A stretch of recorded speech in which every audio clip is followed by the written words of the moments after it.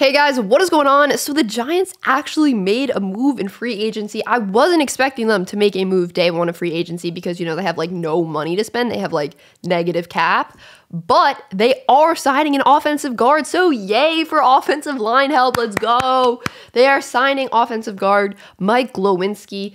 He played on the Colts last season. He was drafted by Seattle in the fourth round. He's 29 years old. So this is the contract. It's a three year, $20 million contract with 11, $11.4 million guaranteed. So where did that money come from for the Giants? I literally have no idea. Like, I don't understand how the cap can work like this. Now I feel like Bradberry definitely has to be traded because I don't I don't understand how the how the Giants just like had had all that money.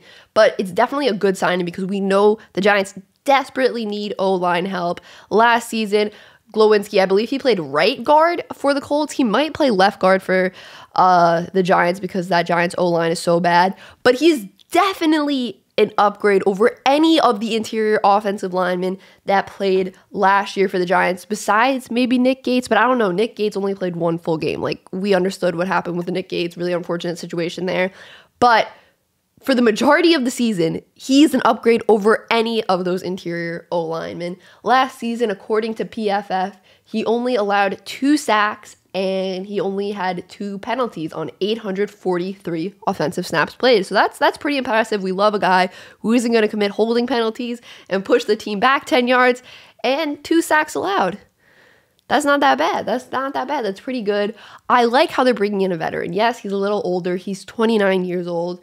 He'll actually be 30 years old when the season starts next year because his birthday's in May.